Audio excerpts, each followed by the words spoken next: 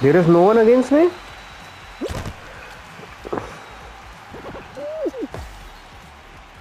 What the hell? Wait, what is this glitch? Wait, who? How the ball is not moving? What the? Man, this fall guys glitches, bro. How is that possible, guys? What is going on over here? The ball is right there, nothing is getting moved. What they are trying to do. I guess yeah, Supersonic is right. Someone left, guys, and this is what happened.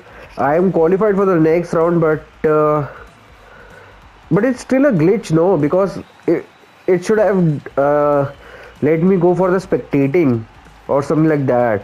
But I am still watching the game, and I cannot move my controls.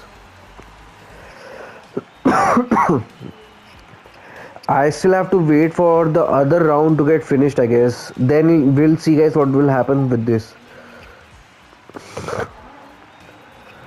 Let's see, let's see what's going on. Because it doesn't matter whatever I move with my stuffs, it doesn't matter. It's a glitch because you know it, it should have made me go for a spectating. It should have directly said that you are qualified and spectate till other players are going on.